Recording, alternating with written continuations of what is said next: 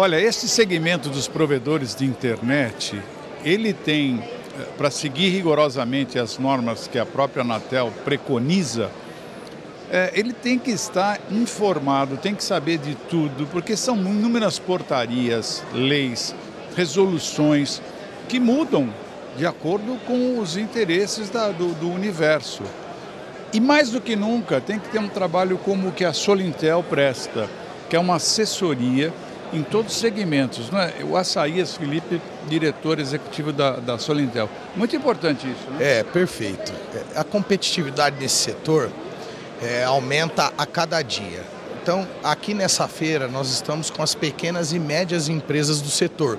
Ela que leva internet até a última milha, ela que leva lá para o Amazonas, ela que leva do Iapoque ao Chuí. As grandes teles, elas têm interesse em levar internet e serviços de telecomunicações para os centros de maior densidade demográfica, onde elas têm um resultado melhor.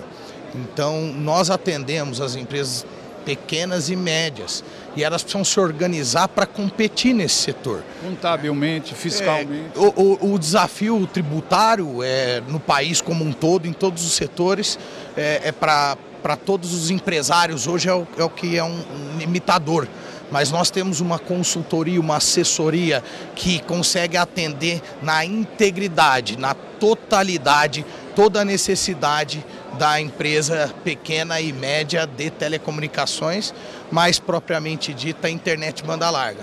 Né? Parabéns pelo trabalho e a gente está à tua disposição. Tá bom, muito obrigado, até logo. Continuamos, até já.